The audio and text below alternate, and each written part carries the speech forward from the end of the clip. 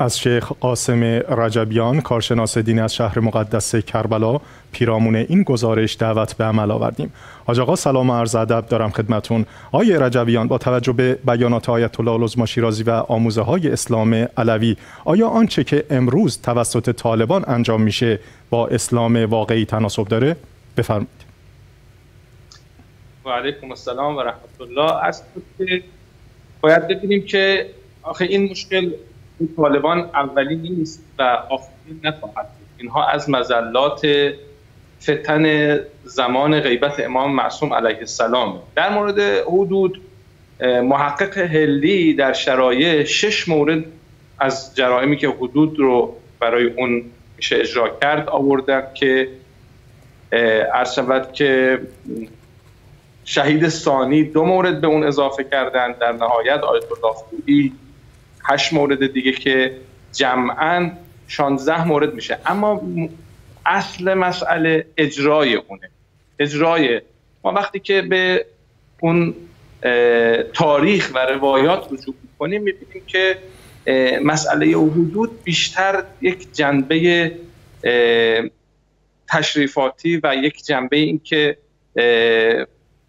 مردم به اون دست از مردمی که در سرات مستقیم نیستند آن سرخود باشند به سمت سرات مستقیم سوق داده بشه. در تاریخ و سیره اهل بیت اسمت و طهارت علیهم السلام می‌بینیم بارها روایاتی هست که کسانی که کاری می‌کردن که حد باید برشون جاری می‌شد اما امام معصوم علیه السلام یا حتی پیامبر مکرم اسلام حد رو اجرا نمی‌کردن. روایتی هست که روایات زیادی هست. یک روایت هست که صاحب جواهر ادعا کرده که اجماع فقهایی که اجرای حدود رو در زمان غیبت جایز نمی‌دونن تمسک به این روایت کردن که میفرمایند که لا یصلح الحکم ولا الحدود ولا الجمع الا به امام.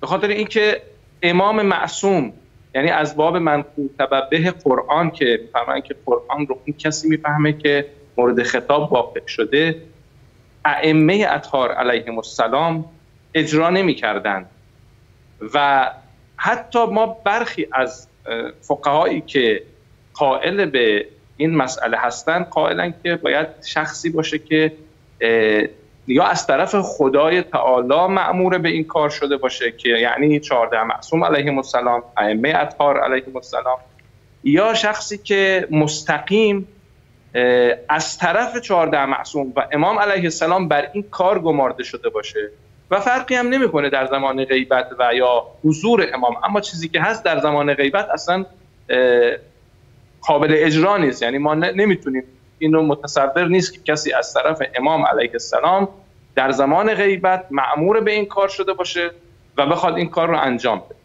لذا اونچه که در دین اهل بیت اسمت و طهارت از وجود شریف پیامبر مکرم اسلام تا خود تک تک اهل بیت اسمت و طهارت و امروز فقها جامع شرایطی همچون آیت الله العظما شیرازی قائل به اون هستند و در کل و در همه موارد حتی مردمن مردم رفاه مردم آسایش مردم این که این عمل همونطوری که آیت الله العظما شیرازی میفرمایند باعث نفرت مردم نشه مخصوصا غیر مسلمان ها به حال مسائلی هست که باید رعایت بشه و این کسی غیر از امام معصوم نمی‌دونه و نمی‌تونه و این روایت هم همین که صاحب جواهر هم آورده و فرموده که فقها به همین تمسک دارن. این یکی از اون روایاتی است که تمسک دارن که وقتی میفرمایند که لا یصلح الحکم ولا الحدود ولا الجمع هم حکم در وقتی که ما در کشورهای اسلامی که تعدادشون هم کم نیست همین اطراف خودمون حالا نزدیک دور هرچه وقتی نگاه می‌کنیم که خب اسمشون اسلامیه و نمی‌تونن یعنی نمی‌تونن اگه بخوان هم نمی‌تونن. و در کشورهای اسلامی می‌بینیم که مسجد هست کاباره هم هست. خب نمیشه یعنی این نمیشه اسمش رو اسلام گذاشت. لذا میفرمایند که لا یصلح الحکم حتی حکم. این مخصوص امام معصومه. چون قدرتی می‌خواد برای اجرای این حکمهای اسلامی که در عین اینکه اجرا میشه به کسی ظلم نشه. حتی مثلا در مورد جمع آوری زکات روایاتی که وجود داره. پیامبر مکرم اسلام افرادی رو که میفرستادن که زکات رو جمع کنن توصیه می‌کردن که حتی اگر به دروغ بگن ما نداریم فشاری بهشون نیارید. اجباری بهشون نکنید. جبر و اکراه و فشار و اینجور مسائل در دین مقدس اسلام جایی نداره. بله. ولیکن طالبان همونطور که عرض کردم اولین نبوده و آخرین هم نخواهد بود. انشاءالله که با ظهور موجود و سرور امام زمان عجل الله تعالی فرجه شریف انشاءالله. مشکل انشاءالله.